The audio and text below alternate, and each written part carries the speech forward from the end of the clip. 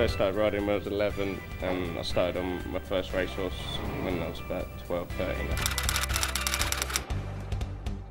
My mum sent me to a racing yard and I just worked on Saturdays just mucking out um, and then they let me ride out a couple of times and then I just got the bug from there really. First started racing with John Best as apprentice there um, and there was a couple of people there. There's Martin Smith who trains in England now, uh, Colin Brister who works at Andrew Balding's. They was all working in the yard at the time and I got a lot of help um, from that yard. Good ground in there. First winner I rode in Bahrain actually for Sheikh Mohammed and I rode a double on the day. Um, so that was quite that was quite special. And then I rode my first winner in England. That was my first ride for David Simcock at Epsom, which was really special because it's quite a prestigious track. I won on a horse called Marbate for David Simcock, and that was at the Rowley Mile.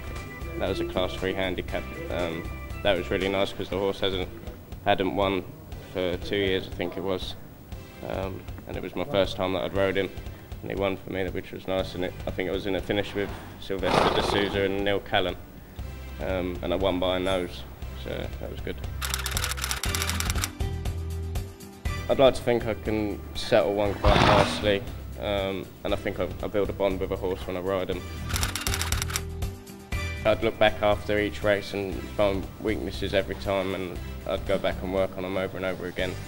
So I'm always trying to pick out new things that I need to build up. Ryan will be, the, to me, the best jockey in the world. Um, he just seems to get everything right. Um, so I, I use my idol, idol in racing so I try and copy him as much as I can. To be stable jockey for Sheikh Hamdan. Um, he's my favourite owner in racing. I'd love to have that jockey job. I'd like to be Maverick out of Top Gun. That'd be the best job.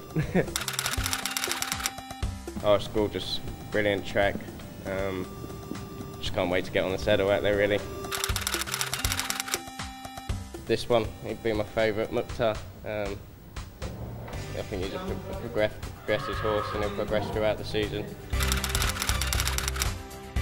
Playing golf um, and just keeping fit really. I, I, do a bit of mixed martial arts here in Dubai. Um, so I'm down the gym there working um, and just trying to make myself better really the weight. I'd love love to be a bit lighter. Sitting in the sauna is not too much fun, but that would be the worst bit.